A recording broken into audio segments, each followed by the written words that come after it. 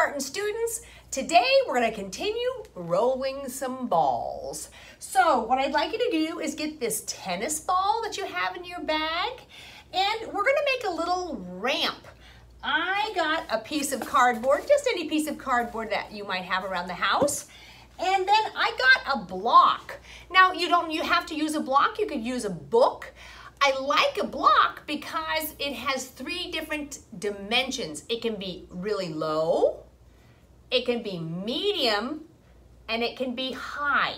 But you could do that with a book too. So the first thing we're gonna do is we're gonna make a little ramp and we're gonna see what happens when the ball is on the ramp. These are the materials that I have. I have a block, I have some cardboard and my ball. I'm gonna put my ball to the side. And do you see I have my block is down, is low.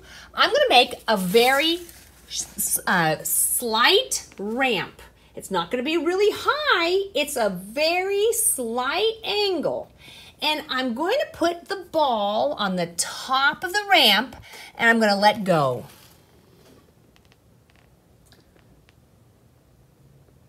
So did the ball go down really fast? Did the ball go really far? So I think the ball went down the ramp slowly and it did not go very far. Now I'm going to make my ramp a little higher. I'm going to take my cardboard off. I'm going to put my ramp, my block up like this just a little bit taller. I'm gonna put the cardboard back up and I'm gonna put the ball on the ramp. You can see that my ramp is a little higher. I'm not gonna push the ball, I'm just gonna let gravity pull the ball down the ramp. So here's the ball. Hey, I think it is going faster and farther. I'm going to count the blocks, the squares. One, two, three, four, five, six, seven, eight, nine, ten.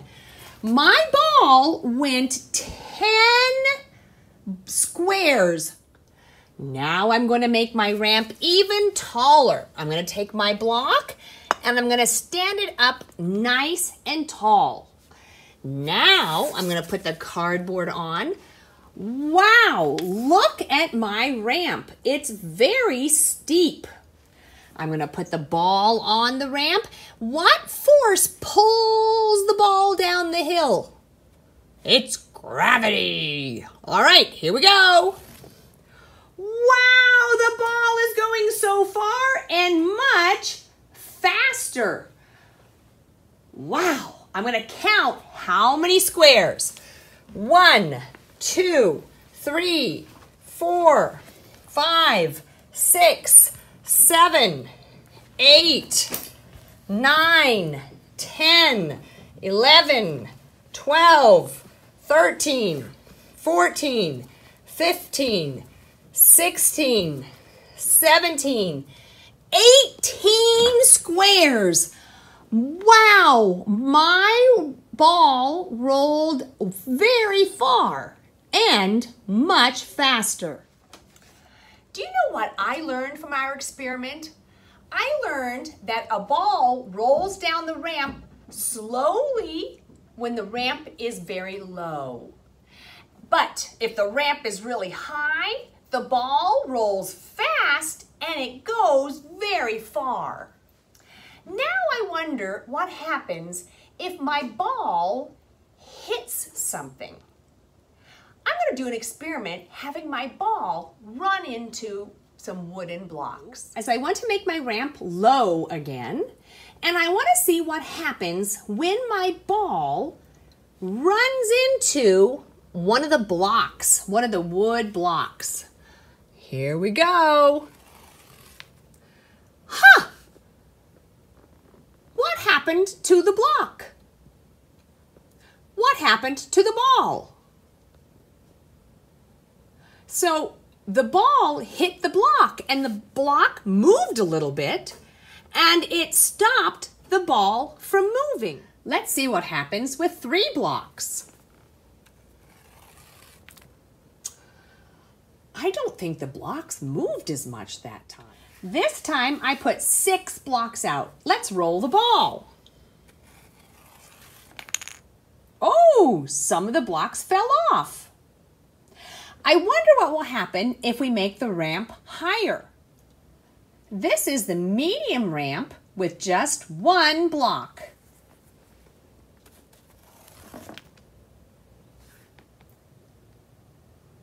So it hit the block, moved the block out of the way, and continued rolling. But it did slow down after hitting the block. Let's try three blocks this time.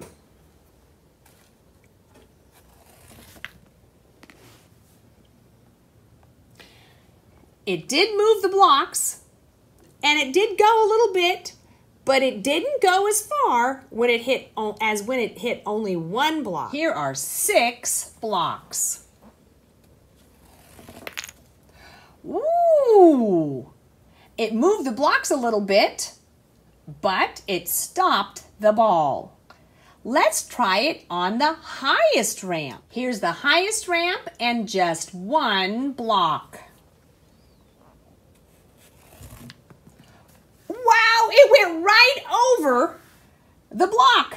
It just bounced right over. It had a lot of energy and a lot of force. So I have the high ramp and three blocks. Let's see what happens with the ball. Up, once again, it went right over the blocks. All right, I have six blocks. Let's see what happens. Oh, the blocks got pushed out of the way and the ball stopped and then moved a little bit to the side. Kindergarten students, I want to do just a little review of some important science vocabulary. Let's go back to the very beginning. Observe. When we observe, we look with all of our senses. So today, we observed the ball rolling down the ramps. And compare. We compared a lot of things. We compared how the ball rolled down the ramp when it was on a low ramp, a medium ramp, and a high ramp. We did an experiment where we compared them. And then we communicate about what we found out.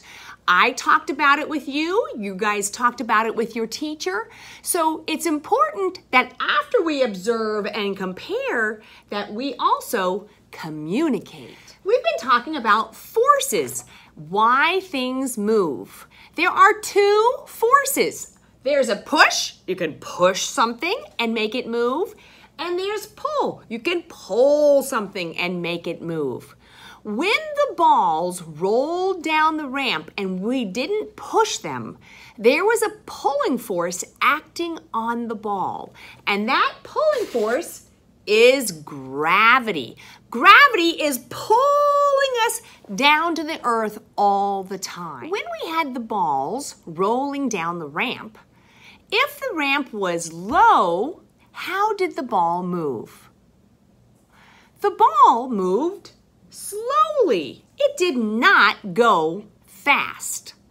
When we made the ramp higher, how did the ball move? The ball moved fast.